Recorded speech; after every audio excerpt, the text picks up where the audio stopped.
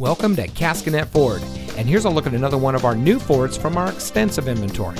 It comes equipped with heated front seats, rear view camera, keyless entry, tire pressure monitoring system, roof rack, alloy wheels, rear spoiler, rain sensitive windshield wipers, Sirius XM satellite radio, navigation.